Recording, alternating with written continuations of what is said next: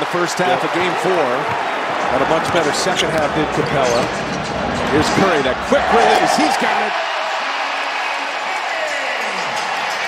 Is closer to the basket, so let's keep our eye on that one. Three-pointer is up. Curry rattles one home. Seth Curry, he and Korkmaz knocking down a couple of threes. By KD. There's Curry for three.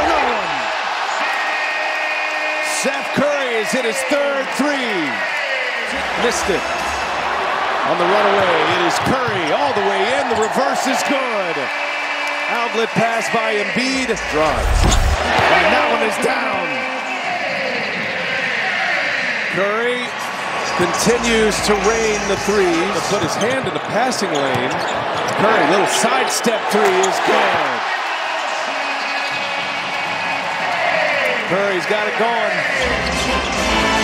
And here is Seth Curry from the top, knocks down another three. Number six for Seth Curry. Sixers, 2005, 2012, under the tutelage of Allen Iverson.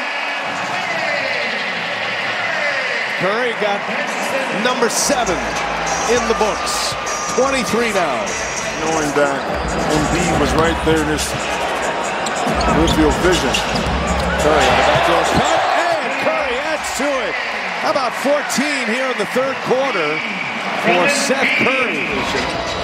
Curry had that big third quarter, and he keeps it going here in the fourth. Well, and the job of the second unit is to keep that energy up.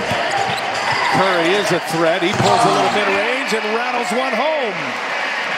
Oh, what a night for Seth Curry. 29 now on 11 of 16 shooting, and that forces a timeout. And Curry knocks them both down. Man in the air, he missed it. Clock ticks. Curry, that one's good. Point one on the clock. And this is going to be an Atlanta victory in game five. What a comeback and what a collapse by the Sixers.